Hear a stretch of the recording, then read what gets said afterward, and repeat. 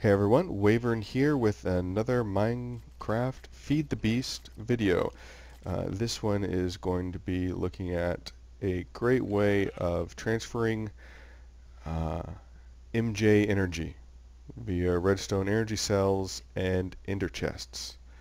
Uh, this and of course uh, turtle and turtle programming. Turtles are awesome. I've started actually uh, dabbling in programming with them lately and really the sky's the limit with this stuff. So uh, for this setup, I'm going to go ahead and I've already set out a 64 by 64 pattern here in the Twilight. And uh, just go ahead and drop the quarry down here. Alright, uh, seems happy. Alright, so basically the redstone cell is going to be going right here. So on me I have three ender chests. Now there's three of them because A, one ender chest for that, so that means that basically everything that the quarry digs out, it will go into my uh, all-purpose general ender chest network. And I have a whole setup back at the base, kind of like the last uh, the, the last setup I had that it just pulls everything out of this chest and processes it and stores it. Uh, so anyhow, that goes there. Now here's where we do the redstone stuff. So I've written a uh, turtle program that will handle the recharging of the redstone cell and the transportation of it. Uh, so basically there's going to be ender chest down here um, and the bottom chest when you're out here using energy, the bottom chest is the one that's going to need uh, the full cells in it. So as you can see right now, there's it's filtering stuff from another quarry.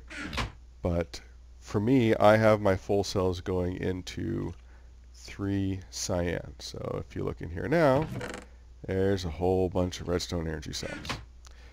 And then we are going to go ahead and put the turtle guy on top.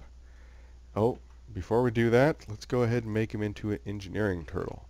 So it's a turtle with a crescent hammer, engineering turtle. And also we're going to make him a gate reading engineering turtle. Now this allows him to read uh, the, the same stuff that a normal gate would be able to read off of this thing. Love that addition. So there we go. Now we have a gate reading engineering turtle.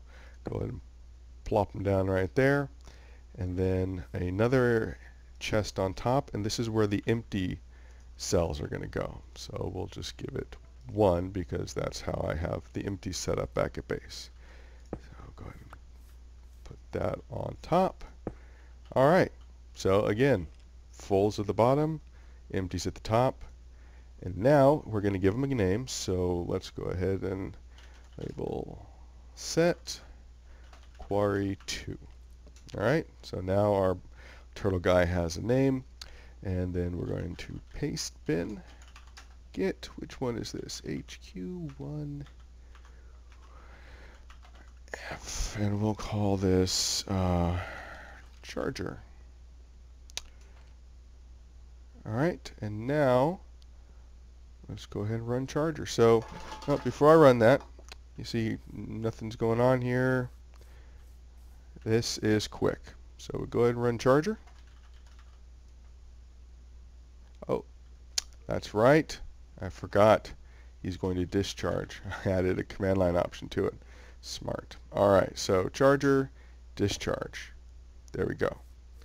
So he instantly put this on here. It's draining.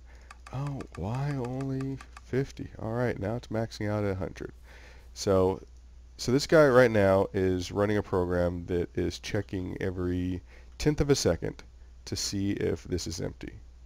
And if it's empty, it will go ahead and pull that out and drop it into this chest. And then it will pull a full one out of here, drop it back on there, and it shall start flying again. And as you can see, this guy is blazing fast. The, the quarry running at full speed is a sight to behold. So let me show you what it looks like on the other end, uh, back at base, where there are a few charging uh, charging stations. Alright, and down here, so down here we have um, some steam uh, boilers that are generating tons of MJ and sending it off into a network of uses of it. So I have two of these turtles running the same program except they're running it as a charging program. So as soon as they get it empty, we'll go ahead and simulate it. So as soon as they get an empty cell uh, into this chest, they'll go ahead and pop it down on here and then keep waiting. And as soon as it's charged up, it plops it back in there. Now the nice thing about this setup is this turtle does not need fuel. He's not moving, it's not turning, it's not doing anything, it's just running a program and that's free. So it never needs to be refueled. Never needs any care, it's never going to move, no GPS, no coordinates, nothing. It just sits here and keeps doing a really simple program. So say for some reason this is empty.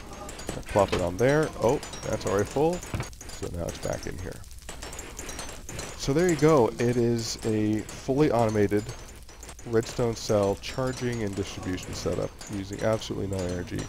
Um, to do it, you you will need uh, two ender chests and a turtle per charging and per discharging uh, setup.